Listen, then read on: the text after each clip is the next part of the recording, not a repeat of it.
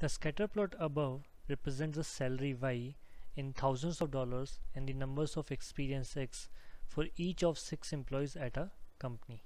So this is a scatter plot that has been given to us in which the salary is plotted on the y-axis and the years of experience is plotted on the x-axis. And we have also been given a line of best fit here. And we know in a scatter plot these dots actually represents the actual numbers and the predicted values are given by the line of best fit. And we need to find out our, which of the following could be an equation of the line of best fit. Now since we are trying to find the equation of the line here so let's just assume that the equation of this line of best fit is y is equal to mx plus c where m would be the slope of this line and c would be the y-intercept. Now let's just see the numbers here so we know when the years of experience is 1 here the salary in thousands is 49 so we know when x is 1 y is 49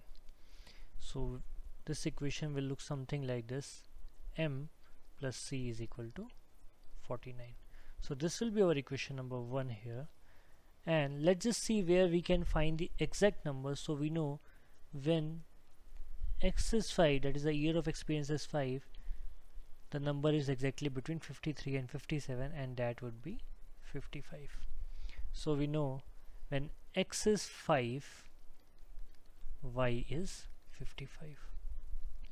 which implies the second equation would be 5m plus c and that would be equal to 55 so this will be our equation number 2 here. Now let's just subtract these two equations here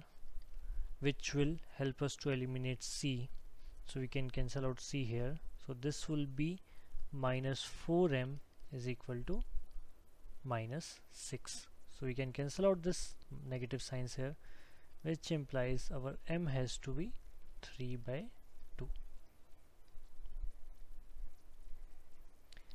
here student needs to understand why we have taken these values here because when x is 1 we know the exact value of y and when x is 5 we also know the exact value of 5 however we can take x as 2 or 0 as well but then in that case we'll have to approximate the value of y. So that's why we have taken x as 1 and 5 because here at x at 1 and 5 we know the exact values of y. Now we have found the value of m here. So all we got to do is substitute the value of m in equation 1 and find out our c which implies 3 by 2 plus c is equal to 49 which will give us c should be equal to 49 minus 3 by 2 so this should be 98 minus 3 by 2 which would be equal to 95 by now we have found the value of m here. We have found the value of c